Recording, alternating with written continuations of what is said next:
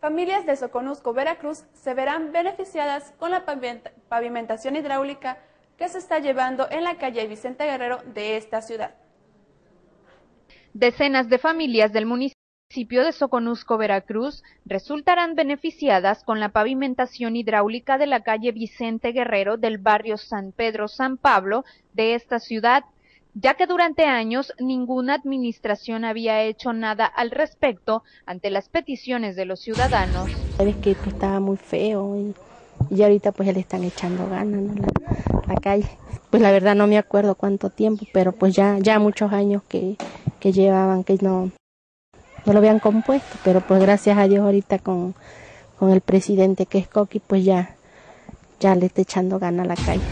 Estos trabajos permitirán abrir paso a otro circuito vehicular por el que transitan vecinos de este barrio, así como también automovilistas.